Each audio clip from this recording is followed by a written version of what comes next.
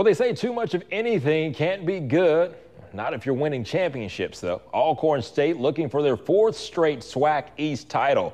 Good evening. I'm Josh Jackson. Head coach Fred McNair in his second season at the helm, and this year he won't have to learn the roster. Alcorn's offense boasts returners at every position on the offensive line. The backfield will be anchored by senior quarterback Lenorris Footman. Defensively, see a lot of the same names as well, including Brandon alum Michael Brooks at defensive end.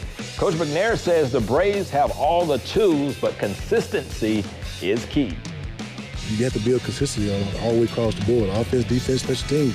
And that's what it's going to take to, to win these ball games on Saturday. Uh, once you start building that consistency level and, and doing everything every day the same way and doing it right, you know, you, you, feel a whole lot better as a coach and staff. The little things uh, play a big role. Um, when you're out there on the field, the small things can turn into big things like turnovers, interceptions like that, fumbles, things like that. So we just try to execute on the little things. The Alcorn never won more than two games in a row last season, something they'll look to change in 2017. The Braves start their schedule at home against Miles College September 2nd.